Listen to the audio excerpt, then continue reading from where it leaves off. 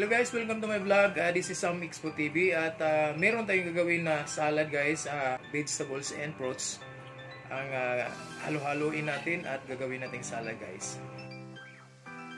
Lagyan natin litos, kamote tops, malabar spinach. Ito naman ang lagay natin pipino. Ayan, halo-halo lang yan. Ayan, halo-halo. So, ito. So, ito, halo-halo lang ha.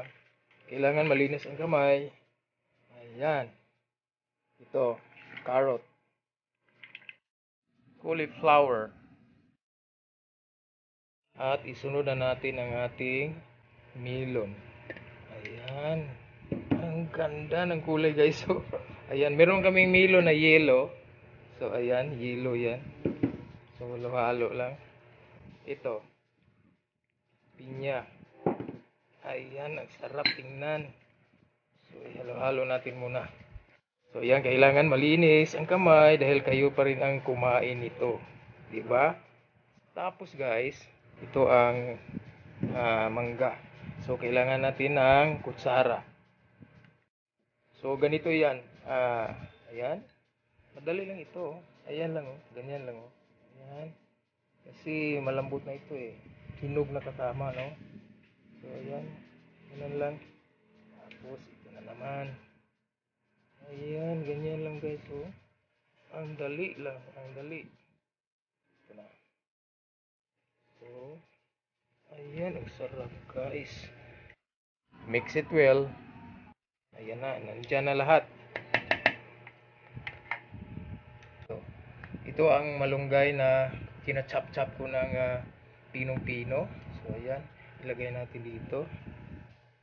Alaman natin na yung malunggay ay maraming benefits tayong makukuha dyan. Tapos, ang pinakalas ito. So, ito, mataas talaga ang ah, ano, benefits dito. Ah, malunggay flour. O, maraming ah, iba hindi kumain ito. Dito na lahat, ah, pwede na nating i-mix. So, hindi na pwedeng kamay kasi marami na. So, gagamit tayo ng kutsara.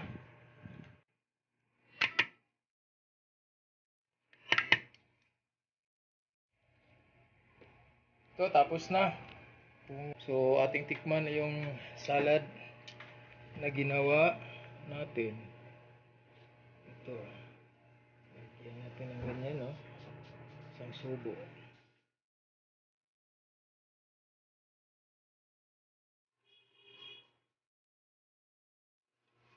Sarap.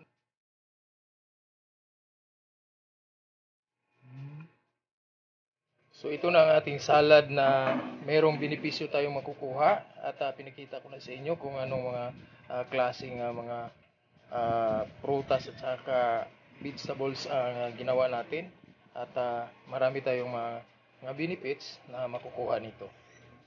So thank you so much guys sa panonood nyo. Ah, sana sa mga bagong ah, manonood or sa mga viewers, please subscribe my channel and hit sa notification bell para updated kayo sa mga bago kong i-upload na mga video.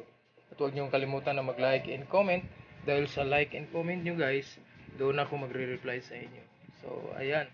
Ito na ang ah, nagawa natin na salad. Oh. Thank you so much guys. Bye-bye.